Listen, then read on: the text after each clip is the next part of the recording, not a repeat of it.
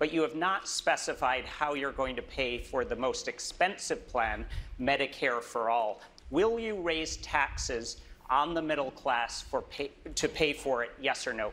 So I have made clear what my principles are here, and that is costs will go up for the wealthy and for big corporations, and for hardworking middle-class families, costs will go down. Uh, Well, we heard it tonight a yes or no question that didn't get a yes or no answer.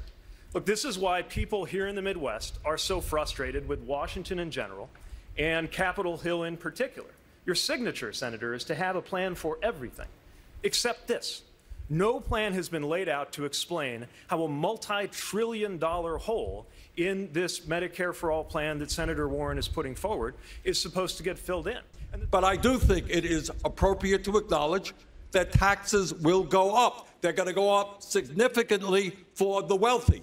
And for virtually everybody, the tax increase they pay will be substantially less, substantially less than what they were paying for premiums and out of pocket expenses.